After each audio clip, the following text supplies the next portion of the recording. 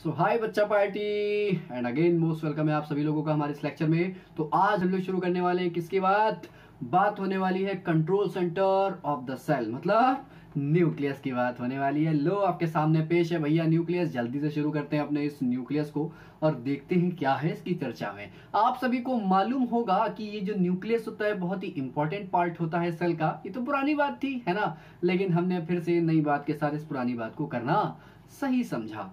लेकिन ये क्यों इंपॉर्टेंट पार्ट है न्यूक्लियस न्यूक्लियस क्या है ये तो मैंने बताया। लेकिन न्यूक्लियस इंपॉर्टेंट पार्ट क्यों है, इसकी चर्चा हम लोग थोड़ी सी करने वाले हैं। जितने भी लाइफ प्रोसेस हो रहे होते हैं, किसी भी सेल के अंदर, उन सारे प्रोसेस को आपस में तालमेल बनाए रखना मतलब सारे प्रोसेस को कोऑर्डिनेट मैनर में चलाना, उनको रेगुलेट करना, ये किसका काम है? ये काम है न्यूक्लियस का। इसके अलावा, जब कभी भी कोई सेल एक सेल से दो मतलब अपने बच्चे पैदा करेगी मतलब अपने आप को डिवाइड करेगी, अपने जैसे नयों को बनाएगी तो वो प्रोसेस कहलाता है सेल डिवीज़न और इस सेल डिवीज़न में भी सेल अपना मेजर रोल प्ले करती है। तो ये हो गई सेल की कहानी, जो बहुत ही बिंदास है। अगर सेल डिवीज़न ना हो, अगर न्यूक्लियस मना कर देगी, हम नहीं करेंगे सेल डिवीज़न भाई तुम क्या कर लोगे? तो जरा ये बताओ क्या कभी भी किसी ऑर्गेनिज्म की ग्रोथ हो पाएगी? या वो यूनिसेलुलर ऑर्गेनिज्म जो एक ही एक ही एक ही सेल का बना हुआ था? भाई साहब, क्या वो डिवाइड कर पाएगा क्या? ना तो भैया, बहुत ही इंपॉर्टेंट रोल आपको समझ में आएगा कि सेल डिवीज़न बहुत इंपॉर्टेंट क्यों है? इसका कभी मैं अलग से बता दूँगा पूरा सेल डिवीज़न क्या होता है, ठीक है? लेकिन जरा समझो। इसके अगर हम देखें तो ये जो न्यूक्लियस होता है न्यूक्लियस के अंदर कुछ स्ट्रक्चर पाए जाते एकदम जाल जाल जाल जाल उसको बोलते हैं। क्या? क्रोमैटिन फाइबर्स क्या बोलते हैं? क्रोमैटिन फाइबर्स और उन्हीं क्रोमैटिन फाइबर्स के पास कुछ स्ट्रक्चर तो इनको कहते हैं फैक्टर्स क्या कहते हैं? फैक्टर ये नाम है, ये मेंटल का दिया हुआ फैक्टर है, जिसको हम लोग जीन भी कह लेते हैं। क्या कहते हैं? जीन्स ना बोलना भाई जीन बोलना जीन जीन्स बोल रहे जे तो जे से आता है, ये जीन्स है, क्या है? जीन्स जीन को क्या कहते हैं? फैक्टर कहा जाता है। और एक तरह का वो हेरिडिटरी मटेरियल होता है। क्या होता है? हेरिडिटरी मटेरियल हेरिडिटरी मटेरियल का मतलब क्या होता है? मतलब वो मटेरियल जो माता पिता से कैरेक्टर्स आपके अंदर लेकर आता है, वो मैटर या वो मटेरियल क्या कहलाता? हेरिडिट्रियल मटेरियल या हेरिडिटी मटेरियल कुछ भी आप उसको नाम दे सकते हो अपनी भाषा में, जो आपको अच्छा लगे। देख लो भाई स्ट्रक्चर ऑफ़ न्यूक्लियस आपके सामने पेश है, ये कोई थाली नहीं लगी है। ये न्यूक्लियस का स्ट्रक्चर है। अगर इस न्यूक्लियस ऑफ़ स्ट्रक्चर के देखोगे, अगर इसको देखो, उसमें होता क्या है? सेल ऑर्गेनल है। और आपको बताएँ कि ये जो न्यूक्लियस है, इस न्यूक्लियस को सबसे पहले एज अ सेल ऑर्गेनल किसने पेश करा था? पेश करा था रॉबर्ट भूरे ने। किसने? Robert Brown Brown. अरे, ब्राउन को हिंदी में भूरे कहते हैं ना। Robert brown. रॉबर्ट ब्राउन ने सबसे पहले इसको एज अ सेल ऑर्गेनेल सबके सामने डिस्क्राइब करा था, ठीक है? कौन थे वो? रॉबर्ट ब्राउन ने डिस्कवर करा था, ठीक है? इन्हीं के बारे में बोला जाता है न्यूक्लियस क्या था? इसका स्ट्रक्चर की जरा चर्चा कर ले हम लोग, इसका स्ट्रक्चर कैसा होता है। सबसे बाहर स्ट्रक्चर होगा, जिसकी हम शुरुआत करेंगे तो बाहर से शुरू करेंगे। बाहर जो लेयर है, वो क्या है? प्लाज्मा मेम्ब्रेन कैसी होती है? डबल मेम्ब्रेन तो मेम्ब्रेन को बोलेंगे क्या? न्यूक्लियर मेम्ब्रेन क्या बोलेंगे? न्यूक्लियर मेम्ब्रेन सबसे बाहर की तरफ़। मेम्ब्रेन पे जरा देखेंगे कि जब मेम्ब्रेन पे चल रहे होगे तो बीच में खांचे आएँगे, बीच में खांचे आएँगे। उनको बोलते हैं क्या? न्यूक्लियर पोर, क्या बोला जाता है? Nuclear pore. लेकिन जैसे ही न्यूक्लियस के अंदर इंटर होते हैं, सटाक से अंदर कुछ बड़ा सा स्ट्रक्चर फटाक से सामने आता है, उसको कहते हैं न्यूक्लियोलस। क्या कहते हैं? न्यूक्लियोलस। अभी न्यूक्लियस की चर्चा अलग से कर लेंगे हम लोग। लेकिन जब अंदर जाते हैं तो भाई साहब जाल जाल जाल जाल मौजूद है। वो जाल नहीं है, वो थ्रेड लाइक स्ट्रक्चर्स है, वो थ्रेड लाइक स्ट्रक्चर कुछ नहीं है, वो डीएनए है जो फैला फैला पड़ा है। आपस में लिपटा हुआ लिपटा हुआ धागे हैं, ढेर सारे जो बिखरे पड़े हैं। जाल के फॉर्म में जिनको बोला गया क्या? क्रोमैटिन फाइबर्स क्या बोला गया? क्रोमैटिन फाइबर्स बोल लो, या इसी को आप क्रोमैटिन भी बोल सकते हो। क्लियर बात? लेकिन आप देखोगे कि भाई इसके अंदर भी कुछ फ्लूड लाइक स्ट्रक्चर मौजूद है। जैसे कि सेल के अंदर साइटोप्लाज्म होता है, वैसे न्यूक्लियस के अंदर क्या होता है? न्यूक्लियोप्लास क्या होता है भाई? न्यूक्लियोप्लास हो गई बात क्लियर तो nucleoplasm nuclear membrane chromatin fibre nucleolus nuclear pore ये पाँच चीज़ें होती हैं न्यूक्लियस के अंदर। तो जब स्ट्रक्चर पढ़ोगे तो क्या मिलेगा? यही पाँच चीज़ें आपको मिलने वाली है और इन्हीं सब चीज़ों को हम लोग क्या करेंगे? डिस्क्राइब करेंगे। एक एक करके एक एक करके एक एक करके। देखो भाई। बात कर ले किसकी? न्यूक्लियस की। तो ये छोटा स्फेरिकल मास होता है जो जनरली तो सेंटर में होता, लेकिन एक मेच्योर प्लांट सेल में धमाक से इसको साइड में कर दिया जाता, क्योंकि अभी हम आपको पिछले ही लेक्चर में ये बात बता के आए थे कि एक मेच्योर प्लांट सेल का जो 90 परसेंट पार्ट होता है, वो कौन ऑक्युपाई कर लेता था? वो ऑक्युपाई कर लेता वैक्यूल्स जिसकी वजह से क्या न्यूक्लियस सेंटर में ना होने की वजह साइड में साइड में धकिया दिया जाता है। लेकिन मोस्ट ऑफ़ सेल में न्यूक्लियस कहाँ पर होता? मोस्ट ऑफ़ सेल में न्यूक्लियस भैया सेंटर में ही होता। क्लियर बात? तो आप ये कह सकते हो जो सेंटर से चीज़ बाहर होती है, जैसे कि हम इधर वाला सेंटर बना दे भाई देखो एक सेल है। एक सेल में ये बात, ये न्यूक्लियस जो वो सेंटर में मौजूद है।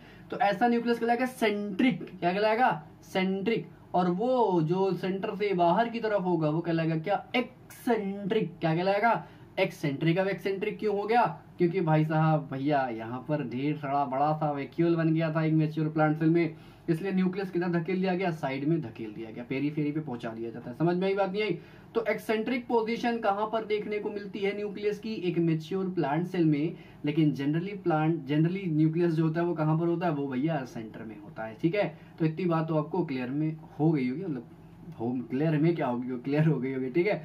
अगला देखो इसके ऊपर एक डेलिकेट सी न्यूक्लियर मेम्ब्रेन होती है और अंदर क्या होता है? अंदर डेंस न्यूक्लियोप्लाज्म होता है। तो ये बात हम लोग पुरानी हो गई, अभी हम लोग पीछे करके आ चुके हैं। अगर न्यूक्लियोप्लाज्म में देखा जाए तो कुछ थ्रेड लाइक स्ट्रक्चर्स होते हैं जिनको कहा जाता था क्या? क्रोमेटिन फाइबर और ये भी अभी बात है जो हम लोग पीछे करके आ चुके हैं। लेकिन एक सवाल आपके लिए है, क्या न्यूक्लियस का शेप हर जगह सेम होता है? अगर हाँ तो कमेंट में बताइए, और ना तो भी बताइए। अगर आपका आंसर ना है तो आपको मुझे कुछ एग्जाम्पल्स भी देने पड़ेंगे कि किसमें न्यूक्लियस का शेप अलग अलग होता है। अगर ना जवाब है आपका तो। अगर हाँ है तो कमेंट में हाँ लिख के आप निकल सकते हो भैया जी। ठीक है? चलो आ जाओ। अब देखो, जब सेल डिवीज़न होता है, जब सेल डिवीज़न होने वाला होता है जरा देखो मैं आपको एक चीज़ दिखाना चाहते हैं कि जैसे कि आप ये स्ट्रक्चर देख रहे थे इसका। तो इसमें देख रहे हो ये फाइबर फाइबर फाइबर फाइबर फैले पड़े हैं ऐसे। लेकिन जब सेल डिवीज़न चल रहा होता है तो अगर आप ये न्यूक्लियस को बना लो तो न्यूक्लियस के अंदर ये सेल जो मतलब जो फाइबर्स होते हैं क्रोमेटिन फाइबर्स होते हैं, ये इस फॉर्म में मौजूद होते हैं, ये। क्रोमोसोम के फॉर्म में आ जाते हैं। किस फॉर्म में आ जाते हैं? इस फॉर्म में आ जाते हैं। इस फॉर्म में आ जाते हैं। मेरी बात समझ नहीं समझ रहे देख रहे हैं कि एक एक एक स्ट्रक्चर एक डेफिनेट स्ट्रक्चर बन के आ जाता सामने कब? ड्यूरिंग सेल डिवीज़न लेकिन जब सेल डिवीज़न नहीं हो रहा होता है तब किस तरह से होता है? तब ये जो स्ट्रक्चर आप देख रहे हो, यहाँ ये बिखरे बिखरे, तब इस तरह से स्ट्रक्चर होता है। इसके अंदर जो आप बिखरे बिखरे स्ट्रक्चर देख रहे हो, तब ऐसे और जब सेल डिवीज़न हो रहा होगा, तब यही जो बिखरे बिखरे फाइबर्स देख रहे हो, बिखरे बिखरे तार, जाल देख रहे हो, धागे देख रहे हो, वो धागे सीमेंट के क्या बन जाते हैं? वो क्रोमोसोम बना लेते हैं। क्या बना लेते हैं? क्रोमोसोम तो क्रोमोसोम की चर्चा भी अभी हम लोग करेंगे। तो वही कह रहे हैं कि सेल डिवीज़न के दौरान ये क्रोमेटिन फाइबर क्या होते हैं? थिक हो जाते हैं रिबन लाइक हो जाते हैं। और होने के बाद ये जब कंडेंस होते हैं तो कंडेंस होकर क्या बना लेते हैं? क्रोमोसोम बना लेते हैं। और क्रोमोसोम आपने अगर देखा होगा, नहीं देखा तो मैं आपको यहाँ पर बना के दिखा दे रहा हूँ भाई, ये लो, रिबन की तरह हो जाते हैं condense this is chromosome chromo का मतलब होता है कलर्ड सोम मतलब होता है बॉडी तो क्रोमोसोम मतलब कुछ कलर्ड स्ट्रक्चर न्यूक्लियस के अंदर पाए जाते हैं, इनको कहा जाता है क्या? क्रोमोसोम ये नाम इसको बाद में दिया गया, क्योंकि पहले तो नज़र ही नहीं आते थे, जब इसकी स्टेनिंग करी जाती है डिफरेंट डिफरेंट कलर से सेल के ऑर्गेनिज अलग अलग तरह की स्टेनिंग से जब रंगे जाते हैं तो नज़र में आता है कि हाँ अच्छा ये भी कुछ स्ट्रक्चर मौजूद है, ठीक है? जब बड़े हो जाओगे तो लेबोरेटरी में देखने को मिलेगा भाई सब, ठीक है? आपको मालूम है, ऐसी सेल्स जिसमें न्यूक्लियर मेम्ब्रेन एबसेंट होती नॉर्मली आपने न्यूक्लियस के ऊपर देखा कि न्यूक्लियर मेम्ब्रेन थी, लेकिन कुछ ऐसी सेल्स थी जिनके ऊपर न्यूक्लियर मेम्ब्रेन मौजूद नहीं होती है। मतलब अगर आप ये सेल बना रहे हो, अगर आपने ये सेल बनाई, ये मान लो क्या थी, ये एक सेल है। और सेल के अंदर नॉर्मली क्या होना चाहिए था? ये न्यूक्लियस होना चाहिए था। और न्यूक्लियस के अंदर ये क्रोमेटिन फाइबर होना चाहिए था। होना चाहिए था, बिल्कुल होना चाहिए था। लेकिन आप कुछ सेल्स ऐसी देखोगे कि जिनके पास सिर्फ़ ये बिखरा बिखरा फाइबर तो पड़ा होगा। मतलब ये जेनेटिक मटेरियल ये जो हेरिडेटरी मटेरियल तो पड़ा होगा, लेकिन न्यूक्लियर मेम्ब्रेन नहीं होगी। और उसके पास कोई सेल ऑर्गेनल भी खासा नहीं होंगे सिर्फ़ होंगे तो वो सेल जो होगी, वो सेल कहलाती है प्रोकैरियोटिक सेल कैसी सेल कहलाती है? प्रोकैरियोटिक सेल देखो प्रो का मतलब होता है क्या? प्रो का मतलब कोई प्रोफेशनल नहीं होता है। प्रो का मतलब होता है प्रिमिटिव क्या होता है? प्रिमिटिव पुराना। और कैरियन का मतलब क्या होता है? कैरियन का मतलब होता है न्यूक्लियस क्या क्या मतलब होता है? न्यूक्लियस। तो ऐसी सेल जिनका न्यूक्लियस पुराने टाइप का है, एकदम बद्दा सा है, न्यूक्लियर मेम्ब्रेन मौजूद नहीं है, ऐसे सेल क्या कहलाते? प्रोकैरियोटिक सेल कहलाते। और जिनके पास सेल में न्यूक्लियर मेम्ब्रेन पाए जाती और ऑर्गेनेल पाए जाते, ये धागा जो जो क्रोमेटिन फाइबर था, ये एक वेल डिफाइंड न्यूक्लियस के अंदर मौजूद होता तो वो सेल कहलाती है क्या? यूकैरियोटिक सेल क्लियर बात? तो बातें अभी प्रोकैरियोटिक और यूकैरियोटिक की भी अच्छे से होने वाली है, ठीक है? तो डोंट वरी अबाउट दैट ठीक है? आपको मालूम है कि ये जो न्यूक्लियर मटेरियल होगा, ये क्या हो जाएगा? ये साइटोप्लाज्म में फ्रीली फैला होगा। और किसी प्रोकैरियोटिक सेल का अगर आपसे एग्जांपल पूछा जाए तो मुँह पे खींच के मारेगा क्या बैक्टीरिया कह देंगे यही है एग्जांपल किसका? प्रोकैरियोटिक सेल का। तो कोई भी बैक्टीरिया का एग्जांपल आप दे सकते हो, ठीक है? तो वो बैक्टीरिया क्या हो जाएगा? वो बैक्टीरिया भैया प्रोकैरियोटिक हो जाएगा, ठीक है? अब देखो, कुछ सेल्स ऐसी मतलब कुछ सेल्स की बात नहीं करें हम बात करें नॉर्मली किसकी? कि सेल्स जो होती हैं न्यूक्लियर मेम्ब्रेन कैसी होती है? डबल होती है। न्यूक्लियर मेम्ब्रेन डबल होती है कहाँ पर? कैसी सेल्स में होगी? यू कैरियोटिक सेल्स में। और अब ये बता चुके कि यू का मतलब होता है क्या? ट्रू। यू का मतलब क्या होता है? ट्रू। ट्रू और कैरियन का मतलब होता है क्या? न्यूक्लियस। तो ऐसे न्यूक्लियस जो ट्रू होगा मतलब उसके ऊपर न्यूक्लियर मेम्ब्रेन पाई जा रही होगी, न्यूक्लियर पोर पाया जा रहा होगा, न्यूक्लियोलस पाया जा रहा होगा, ऐसा न्यूक्लियस कहलाता है क्या? यू कैरियोट क्या कहलाता है? यू कैरियोट और वो सेल कहलाएगी जिसके अंदर ऐसा न्यूक्लियस पाया जाएगा, वो सेल कहलाएगी यू कैरियोटिक सेल। क्या कहलाएगी? यू कैरियोटिक सेल तो जितने भी दुनिया में ऑर्गेनिज्म है, बैक्टीरिया को छोड़ दो। जितने भी ऑर्गेनिज्म दुनिया में है, वो सब के सब कैसे हैं? यू कैरियोटिक है। कैसे हैं? यूकैरियोटिक तो इसमें कोई भी आपको परेशानी नहीं होनी चाहिए। ठीक है? आई होप आपको वो बात समझ में आई होगी। आ जाओ भैया, न्यूक्लियोलस है किससे आ जाओ न्यूक्लियोलस। तो ये वो स्ट्रक्चर था जो न्यूक्लियस के अंदर पाया जा रहा था। क्या नाम दिया गया इसको न्यूक्लियोलस। आपको बता दें कि लगभग एक न्यूक्लियस में कम से कम एक न्यूक्लियोलस तो होता ही होता है। इससे ज़्यादा भी हो सकता है, लेकिन मिनिमम एक होना चाहिए। कुछ सेल्स होती हैं जिनके पास एक से ज़्यादा न्यूक्लियोलस भी हो सकते हैं तो वो हम लोग बात कर चुके थे, ठीक है? अभी ऐसी, इसी पॉइंट से पहले तुमने बात कि एक सेल के पास कम से कम एक न्यूक्लियोलस होना चाहिए। मतलब एक न्यूक्लियस के अंदर एक न्यूक्लियोलस होना चाहिए। लेकिन कुछ सेल्स ऐसी होती है जिनके पास क्या होता है, एक न्यूक्लियस के अंदर एक से ज़्यादा भी न्यूक्लियोलस हो जाते हैं। लेकिन ये जो नंबर होता है न्यूक्लियोलस का, इसी को न्यूक्लियोलाई भी कह सकते हो, जब ढेर सारे हो जाएँगे, ठीक है? तो इनका नंबर जो होता है, ये हर न्यूक्लियस में फिक्स्ड होता है। ऐसा नहीं है कि हमारी एक सेल मान लो कि यहाँ स्किन की सेल आपने ली स्किन के नीचे की सेल ली, उसमें से एक न्यूक्लियोलस था। और कहीं ब्रेन की सेल ले ली? उसमें पाँच न्यूक्लियस निकल आएँगे। क्या एक न्यूक्लियस में एक ही न्यूक्लियस अगर है तो मेरे हर शरीर में वही होने वाला है, ठीक है? ऐसा कुछ नहीं है कि वो ज़्यादा बढ़ के मिल जाएँगे, कुछ एक्स्ट्रा मिल जाएँगे, हम निकाल के फिर उनकी सेल लगाएँगे न्यूक्लियोलस ले लो न्यूक्लियोलस ऐसा कुछ नहीं होने वाला, ठीक है? और आपको मालूम था कि न्यूक्लियोलस का काम क्या था? न्यूक्लियोलस फैक्ट्री थी किसकी? राइबोसोम की, है ना? ये किसकी फैक्ट्री थी? ये फैक्ट्री थी राइबोसोम की। और राइबोसोम क्या करता था? राइबोसोम बनाते थे प्रोटीन क्या बनाते थे? प्रोटीन की सिंथेसिस से मदद करते थे।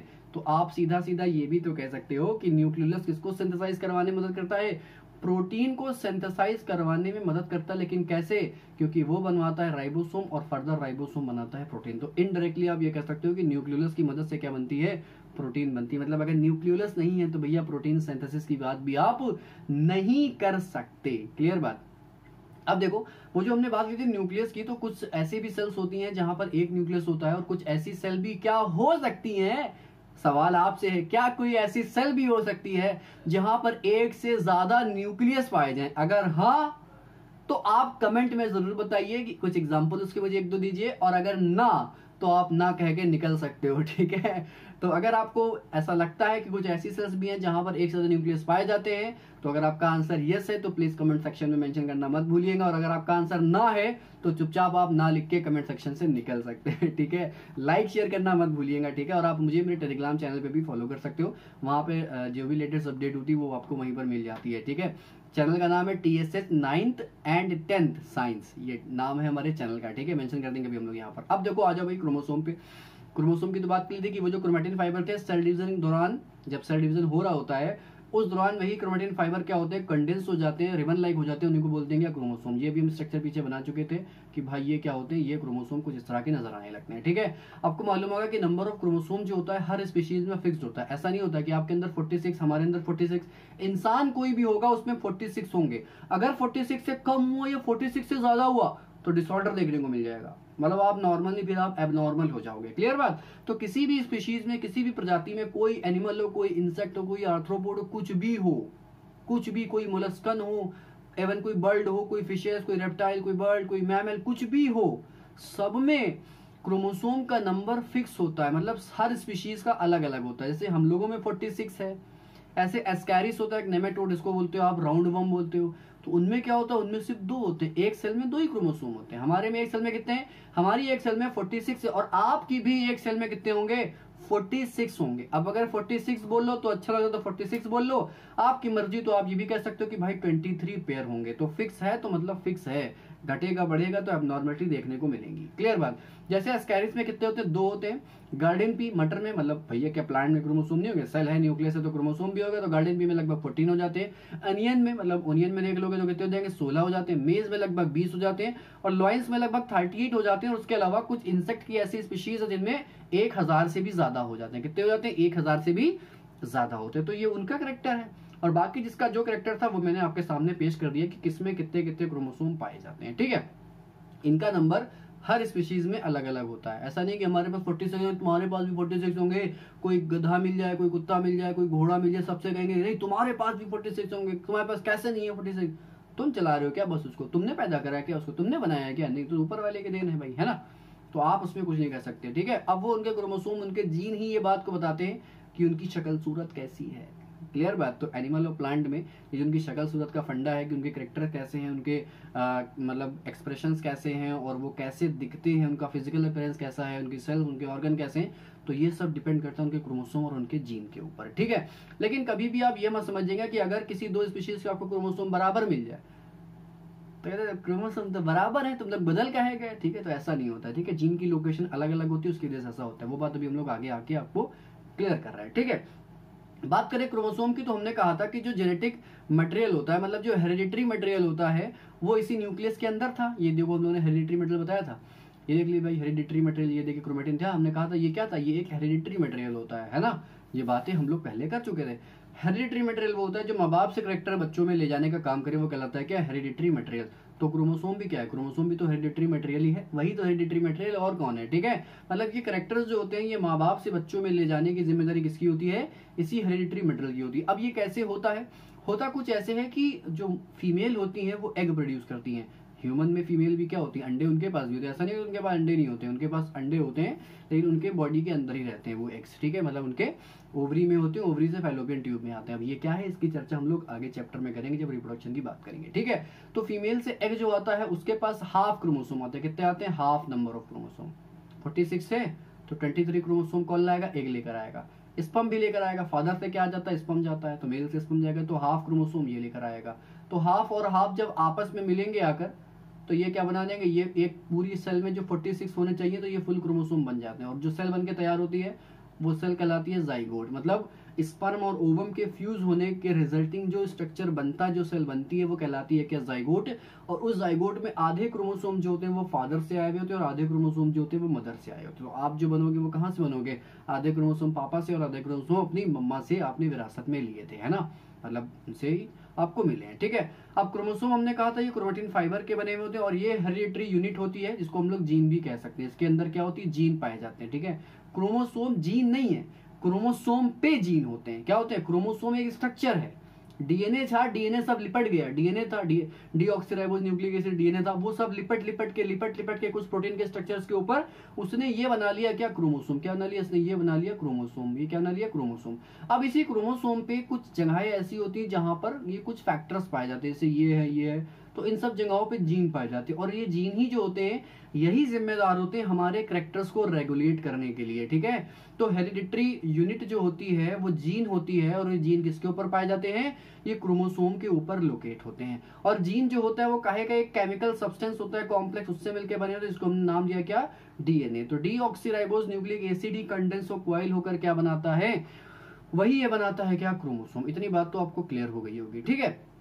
कभी भी जीन, ना ही नंबर ऑफ़ क्रोमोसोम किसी स्पीशीज को, के करेक्टर को डिफाइन नहीं करते कि मतलब जीन का नंबर कितना है क्रोमोसोम का नंबर कितना है, इससे कभी डिफाइन नहीं होता कि किसी स्पीशीज का करेक्टरिस्टिक क्या होगा। क्लियर बात? डिपेंड करेगा इस बात पे कि लोकेशन क्या है जीन की। रैंडम लोकेशन होती है अलग अलग स्पीशीज में अलग अलग लोकेशन होती है। जैसे कि आप देखो कि लॉइन्स हैं इसके अलावा टाइगर्स हैं, इसके अलावा हाउस कैट्स होती हैं। तीनों के पास जो क्रोमोसोम होते हैं, वो थर्टी एट ही क्रोमोसोम होते हैं। थर्टी एट क्रोमोसोम तो आप कहोगे कि यार, सबको तो फिर एक जैसा हो जाना चाहिए था, है ना? लेकिन सब एक जैसे नहीं होते। वजह यह है कि भैया, इनमें जो क्रोमोसोम पे जो मौजूद जीन थे, जो हेरिडिटरी यूनिट थी, वो क्या थी? वो अलग अलग प्लेस पे लोकेट थी। लेकिन अभी अगर हम आपको बताते कि जीन की एग्जैक्ट डेफिनेशन क्या होती है तो आप ये कह सकते हो कि डीएनए का वो छोटा सा छोटा टुकड़ा जो किसी करेक्टर को कंट्रोल करने के लिए जिम्मेदार हो, वही कहलाते हैं क्या जीन और जो जीन टर्म है, इसी को पहले फैक्टर कहा जाता था मेंडल के जमाने में। लेकिन जब जॉनसन आए तो उन्होंने इसको नाम दे दिया क्या? जीन तो ये बात हो गई किसकी? ये बात हो गई न्यूक्लियस और उसके क्रोमोसोम